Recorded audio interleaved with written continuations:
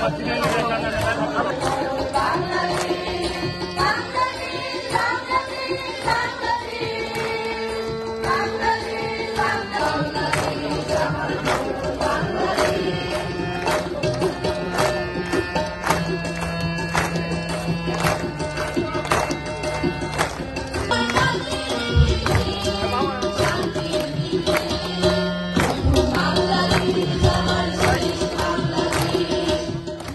আজকে যদি সরকার মানবিক হতো, তাহলে তারা পাঁচশো মানুষকে গুম করতো না বিএনপি। পকেট কেটে নিজেদের পকেট ভারী করছেন এদেশের জনগণ আপনাদের এই পকেট ছিঁড়ে দিবে। আপনি দেশের জনগণ দুর্নীতি করে আপনারা যে টাকার পায়ন করেছেন, সেই টাকার হিসাব এদেশের জনগণ ইনশাল্লাহ নিবেই দেবে।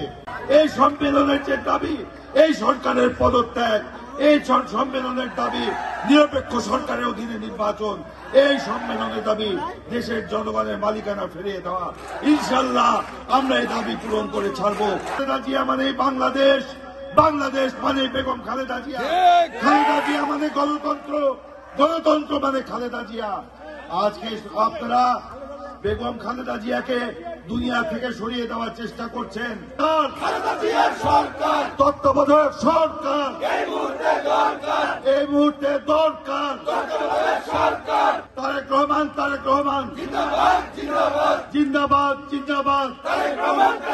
সকলকে ধন্যবাদ জানিয়ে আন্দোলন সংগ্রামে ইস্পাত কঠিন ঐক্যে ঐক্যবদ্ধভাবে আওয়ামী দুঃশাসনের হাত থেকে মুক্তির অপেক্ষায় এই মানুষগুলো তাকিয়ে আছে আমরা যারা বিএনপি করি আমাদের দিকে।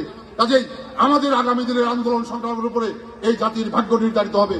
কাজেই আমাদেরকে যে কোনো মূল্যে এই আন্দোলন সবল করতে হবে, বাঁচাতে হবে। এই সৌর শাসকের পতন ঘটিয়ে আপনাদেরকে সেই সংগ্রামে শরীর হওয়ার উদাত্ত আহ্বান জানিয়ে